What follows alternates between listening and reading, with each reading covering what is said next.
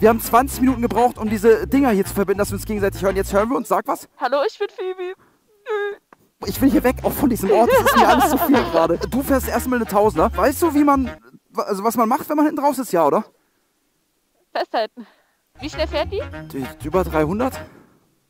Geil.